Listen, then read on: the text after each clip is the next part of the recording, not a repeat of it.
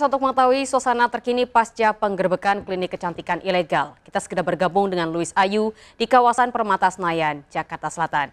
Ya, Luis, apakah saat ini nampak ada aktivitas pasca penggerbekan yang dilakukan aparat Polda Metro Jaya?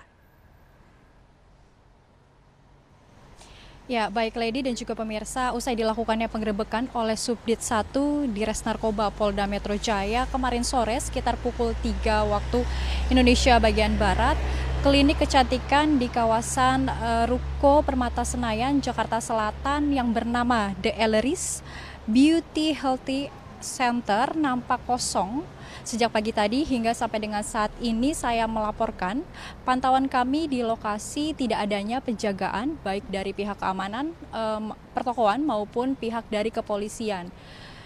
Klinik ini juga terpantau belum dipasangi garis polisi Eh, dari uh, pintu klinik ini juga terkunci sehingga kami tidak dapat memasuki uh, ke dalam uh, ruangan untuk melihat lebih detail lagi bagaimana kondisinya.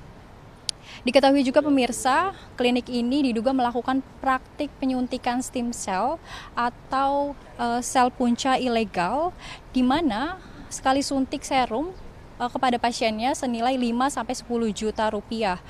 Dari informasi yang kami dapatkan, klinik The Elleris Beauty and Health ini resmi diluncurkan pada bulan Februari 2019 selalu. Beberapa artis dan juga sosialita pernah ikut hadir dalam peluncuran klinik ini sendiri.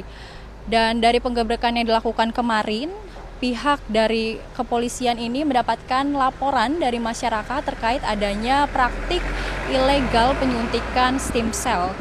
Dan dalam penggerbekan juga pemirsa, polisi mengamankan 10 orang yakni pemilik klinik dan juga para uh, karyawannya di mana uh, pengamanan tersebut dilakukan untuk menyelidiki lebih lanjut terkait dengan adanya praktik ilegal ini sendiri. Selain itu juga sampai dengan saat ini tidak adanya aktivitas baik di dalam ruangan maupun tamu-tamu ataupun konsumen pasien yang hadir ke dalam uh, klinik ini sendiri. Untuk sementara demikian Lady. Baik, terima kasih Luis Ayu